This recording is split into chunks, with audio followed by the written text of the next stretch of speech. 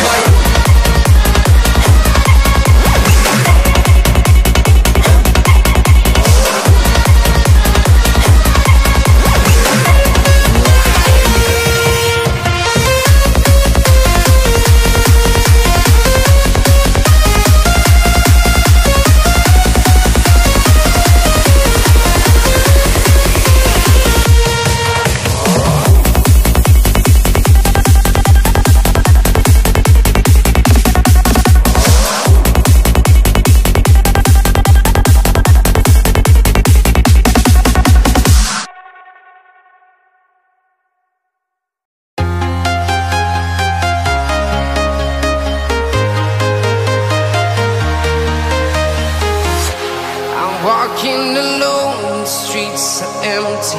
The only thing I can see is my own silhouette. I'm getting stronger, step by step. The clock is ticking, but there's no time for regrets.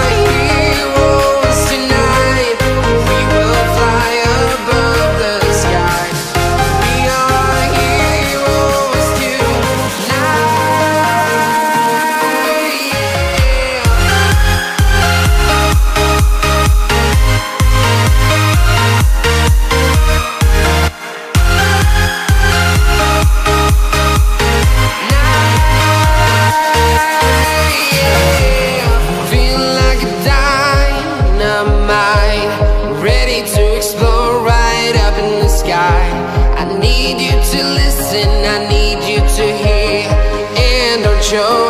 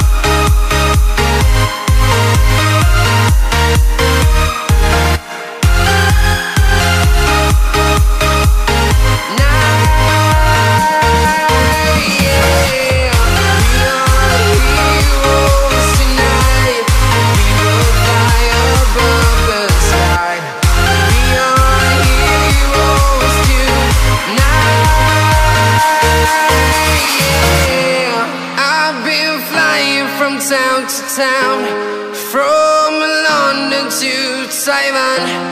I've been all around the globe trying to protect your soul.